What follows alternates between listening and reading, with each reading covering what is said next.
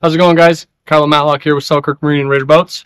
Hey, we're here for water test day. So uh, this is the boat that you've seen uh, all over the internet that we had at the Seattle Boat Show. So it's our 280 offshore.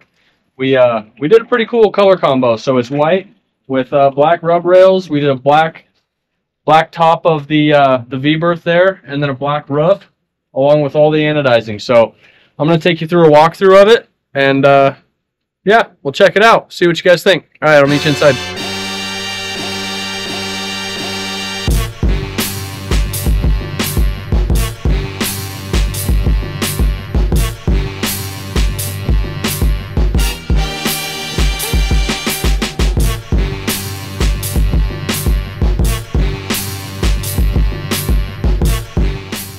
Well, now that we're inside the boat, I'm going to kind of show you some of the options it's got in it. So uh, it is a standard in all of our offshores. It's got a welded in diamond plate aft deck. So you can see all the welds, super beautiful.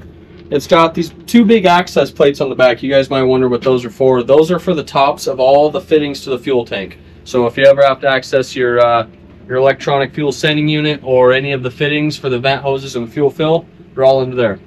We do have a nice massive fish hold right here so you can throw all your fish in there, bleeding out rockfish. We've uh, we fit limits in there before, and so that's mid 30s for six guys. This boat is also outfitted with a transom mount bait tank, so that's pretty cool.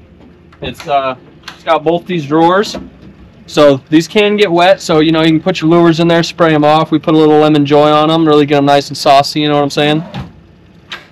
Really make them alluring for the fish. The uh, about 40 gallon bait tank down in here. So it's got baffles all the way around the side to make it rounded so that your fish aren't running into a square wall and being dead by the time you get out there. You can see the jet rail down in the corner. So it's got a uh, it's got a drain right out the back here. So you just flip this big valve and it just drains the whole tank within probably a minute and a half, two minutes. Or you can just put it in overflow mode which there's a standpipe in the back of the tank. So that whenever the uh, whenever the tank gets full, then it just keeps recirculating and spraying water in there, and then it won't overflow. So it just kind of you know seeps out the the drain pipe there. We did add a cutting board on the side here, so when you're flame you know flaying your your giant salmon that you just caught out on the river, you can just blow all the guts right off the back. You don't have to worry about that. Here's where the batteries are. So we've got a uh, three battery system in here. It's kind of hard to see, but you can see the manifold down there in the corner where uh, the bilges and the diaphragm pump pump into. So that just runs out your one welded through hole in the side of your boat, none of that plastic stuff. Back here in the back, you can see uh, both of our fuel water separators. This here is the washdown. Then you've got your diaphragm pump down there. We used to use a macerator. They're cheaper. They pump water faster. But uh, if you get some fishing line or a lure in there, blows it up, got to replace it. So we bulletproof it by doing that. The standpipe is down there under the uh, the Shurflo pump. That is for your bait tank. So uh, this boat is also equipped, just like every other boat, with our ACR systems, which is automated charging relay. So that just allows the uh, you know the motor battery and then the two house batteries to stay isolated, so that if you kill your house batteries uh, your motor battery isn't dead whenever you go to start your motor up. It also detects which batteries need more of a charge. So whenever you start your boat, it uh, diverts the charge to whichever uh, whichever batteries need it more.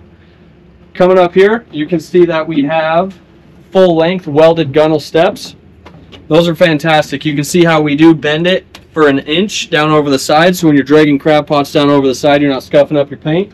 It's equipped with two downrigger pads. They both have uh, Bernawin GM 650s in them.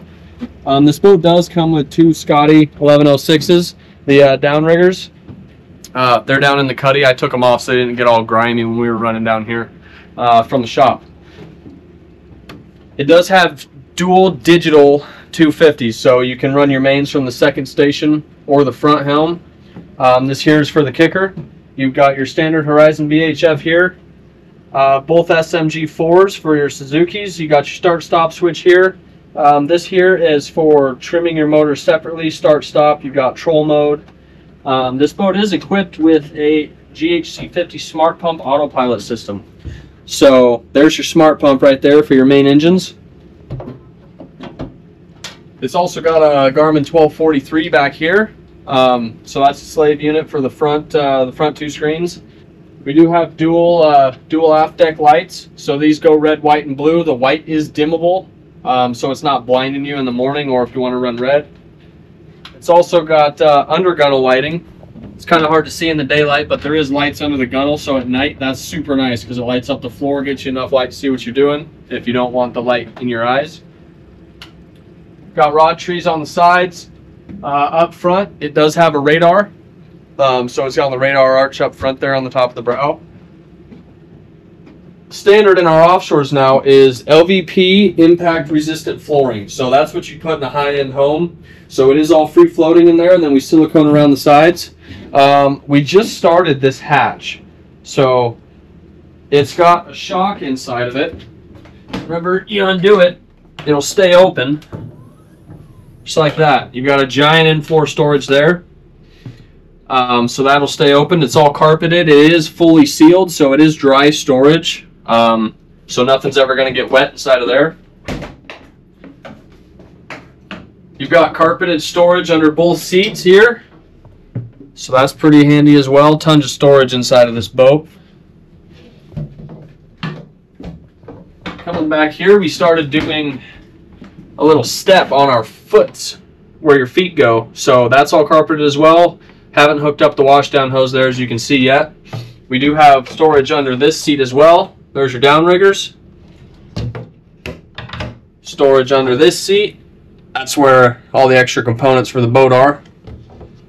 This is something new we started doing. So this is a short cabin to maximize deck space. So on this 280, you've got a little over 11 foot of deck space. Um, and then you have a half dinette.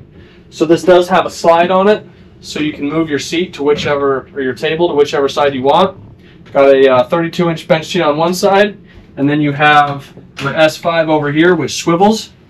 This is a bolster seat, so you can set it down for sitting at the table, and then whenever you want to run, you want to stand up. It's not so important for the passengers, but for the captain, it's pretty nice to be able to stand up and run. So it's pretty awesome. You get a better view uh, you can see better, got a better sight line. It also makes a way better ride. But besides the ride, these S5s are the best riding seats I have ever sat on. So we used to run Mariners in here. Mariners are a great seat. The S5s are just that much better. They are absolutely amazing. So we've got uh, four cabin lights up top. They are red, white, and blue as well, and the white is dimmable. So if I turn it on, rock them off and on, they stay dimmed. And then I've also got red and I got blue. So I can turn the white on. You can see it growing in intensity, so you can rock it wherever you want it to stop.